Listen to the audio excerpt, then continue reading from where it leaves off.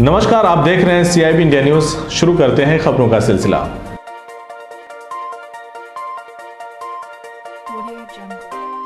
उत्तर प्रदेश के बलिया ज़िले में नगरा थाना क्षेत्र के ढेकवारी गाँव में लगी भीमराव अंबेडकर की प्रतिमा को शुक्रवार की रात अराजक तत्वों ने क्षतिग्रस्त कर दिया था।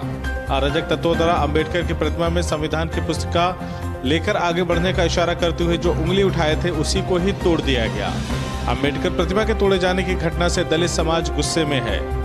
देश में मूर्तियों पर हो रहे हमले रुकने का नाम नहीं ले रहे हैं। यूपी में बाबा साहेब अंबेडकर की मूर्तियों को लगातार निशाना बनाया जा रहा है। हालिया मामला बलिया जनपद के नगरा थाना क्षेत्र के ढेकवारी गाँव का है, जहाँ अराजक तत्वों ने रात के अंधेरे में अंबेडकर की प्रतिमा को क्षतिग्रस्त कर दिया।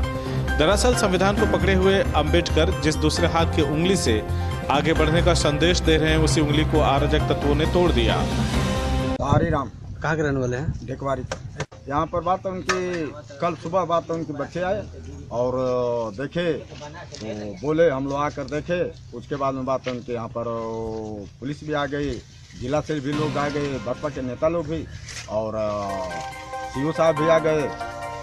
और शांत करा करके कहे कि भाई, हम इसको मरम्मत कराएँ तो जो टूटा फटा था, उंगली उंगली और जो पैर पर जूता उता जो टूटा था और सिर पे जो टूटा, उसको मरम्मत करा। समाज के लिए अंबेडकर मूर्ति उस पथ प्रदर्शक की है, जिसने उन्हें समाज में आगे बढ़ने की प्रेरणा दी।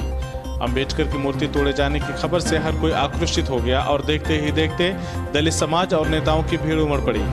अराजक तत्वों ने अंबेडकर प्रतिमा के सर पर भी वार कर उसे नुकसान पहुँचाने की कोशिश की।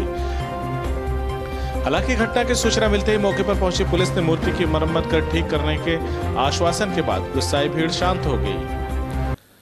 बलिया में महज दो महीने के अंदर मूर्ति तोड़े जाने की ये दूसरी घटना है। चंद दिनों पहले एक हनुमान जी की मूर्ति को भी तोड़ा गया था। ऐसे में देश में लगातार मूर्तियों पर हो रहे हमलों को रोकने में नाकाम साबित हो रहा है।